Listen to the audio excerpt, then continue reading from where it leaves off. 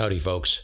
K1GMM Steve here in the ditch on a very cold Saturday morning in January 2023. I have some information for you regarding running November 1 Mike Mike along with SDR Console. I've had issues for pretty much six years now where if I'm working an event, uh, QSO party, DX contest, whatever, and I need to run November 1 Mike Mike as a contest logger. What ends up happening is something will hijack the COM port and SDR console will flash and change frequency. It'll change the configuration in the spectrum. Sometimes it will even change bands. Anyone who is running console tag team down to a 7300 who's tried to run November 1 Mike Mike, maybe you have experienced this. It's very frustrating. I love console and I want to run the 7300 in the contests and the events. Uh, the only way to get around that, I found, is to basically disconnect November 1 Mike Mike from CAT. And you have to manually input the frequency, which is a pain in the arse. So I, I was sitting there thinking last night, this is six years worth of farting around with this. I've never been able to get it to work.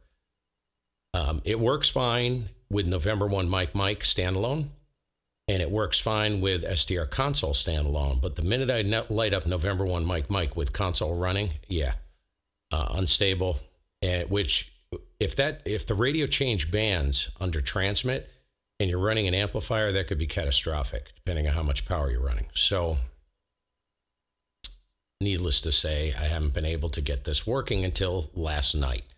I'm going to show you guys what works for me how I got it running, and it seems to be very stable. I've let it run for last night for a couple hours, and I let it run this morning for, oh, easily two hours, two or three hours. Uh, so I'm going to do a step by step walkthrough on the changes I made to get this working. So everything connects and just works.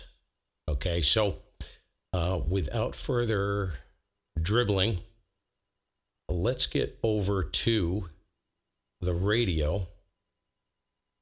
And the first thing you want to do on the radio is go to menu, set, connectors, CIV. So I have, uh, now keep in mind, I've got November 1 Mic Mic working regardless of whether it's in link to remote or unlink from remote. So by default, all the documentation you read states that the radio has to be placed in unlink from remote. I'm going to just show you how I got it working. Now, you'd think console wouldn't work or connect, but it does. And it works in unlink from remote. Don't ask, I'm just showing you how I did it. So I have the radio placed in unlink from remote right here. And the CIV USB baud rate I have set to 9600. And again, you press the up arrow, CIV baud rate, I have that set to 9600. I do not have the other one, other one set to auto. All right, so once that's done, Coolio, you're out of there. That's all you need to do on the radio. Now what we need to do is we need to head over to Device Manager. So open up your Device Manager, Silicon Labs. You want to find your ports, open up your port dropdown Silicon Labs driver COM3 is where my ICOM 7300 is sitting on. This is the driver for the 7300. Right click on this, go to Properties, Port Settings. I have this set to 9600.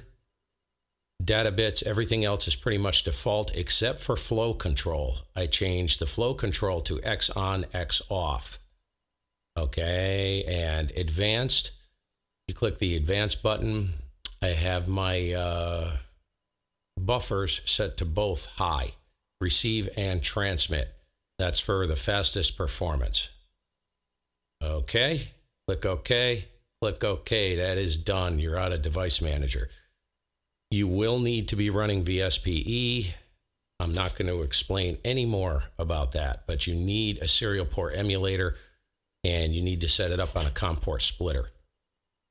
So as you can see here, Ignore the COM5 and COM6. I have COM3 and COM2. This is a splitter. My native COM port for the 7300 that's generated through the USB cable is COM3. So I created a splitter to COM2. You can split it however you want. Uh, whatever available port you can grab that's open, um, you can create a virtual port there. So I have it split from COM3 to COM2. All of your software sits on COM2.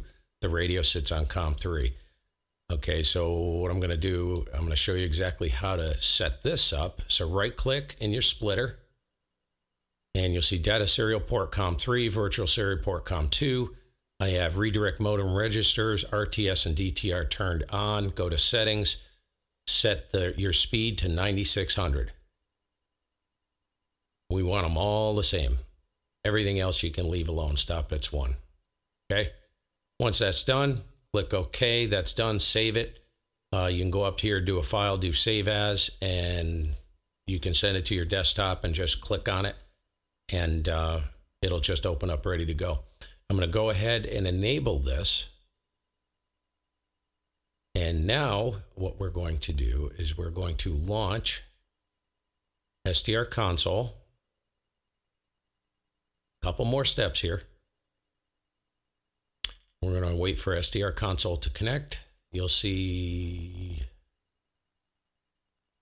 you'll see yes, IC7300 online. Um, so what you want to do once console lights up is open your external radio. Make sure this is uh, opened right here. Click the question mark and open OmniRig. Click on OmniRig. We need to make sure OmniRig is correct. Mine is uh, sitting on rig two because I have multiple rigs here. Uh, select the radio IC 7300 and remember we want to put that port on Omni rig on COM2. That's the split. That's the splitter that we created in VSPE. Set that to COM2 baud rate 9600. RTS DTR low. Click OK. Bada boom. That is done. So OmniRig is now set up, and you, and if it's not, if you didn't do that, you can also do that through uh, the Windows in Windows before you even start console. That's the way I would recommend doing it. Just type uh, OmniRig into the search window and the bottom left hand corner of Windows, and it'll pop up OmniRig. Open it, and you can configure it there. You don't have to do it through console. Okay, so next step is we need to launch November 1 Mike Mike Get this running. And there it is. 7178. Now, if we go into, you will need to configure November 1 Mike Mike. So you go to config, configure ports, mode control.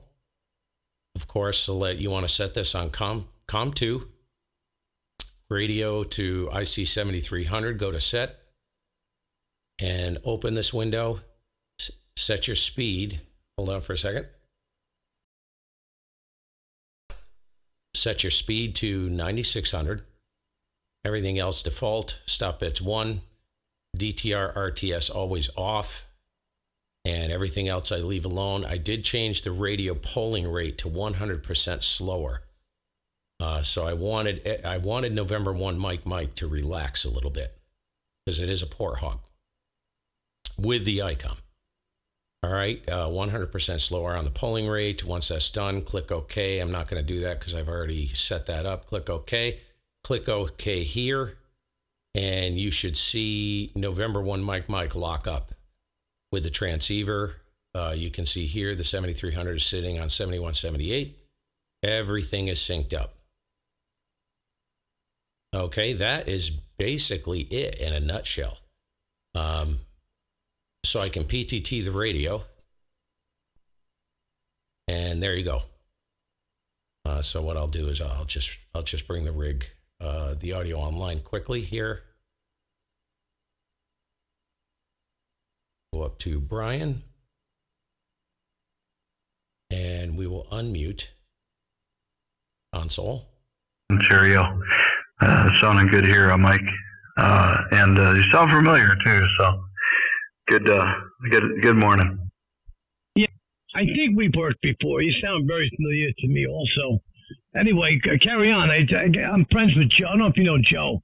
Um, Someone um, punched the and to PTT. you, to you when uh, I was And talking to Joe go. one day. Everything's running. Yeah, yeah, no doubt, no doubt. Oh, Now, like I said, I've let this sit here for hours now. There's been no hijack. There's been nothing. Everything just runs. Uh, so there you go, and and you can see uh, I did make some changes to the computer, although I didn't. I can't remember exactly what they are, but you can see the CPU usage here in console very very low, 0.9 percent, 1.1 percent uh, very, very 0.8%, 0.7%. Um, very, very passive, very passive. Um, so everything's chugging along really good, really stable. So looking forward to uh, going back to uh, this setup during the events. Uh, just because the control I get on the front end with console, uh, superb. Almost, boy, it's damn good. Anybody who's run console knows that um, with the RxDAP, it beats the pants off the Apache natively of the native Apache front end, regardless of whether you're running NR2 or not. Hmm. And that coffee is good. And with that, I'm going to conclude. Hope this helps you guys. Give it a run. Fingers crossed. Hope you guys uh, have some success with this. This has been a nut I've been trying to crack for years and it seems to be really, really stable. So, anyways, have a great day. I'm going to be back. I have another video I need to push, and maybe some live live work this weekend. So hopefully, catch you guys on a live stream, which would be really awesome. Um, seven three all. Have a great day, and I hope this helps. Helpy Helperton here, Steve K1GMM. I'm out of here. We'll see you.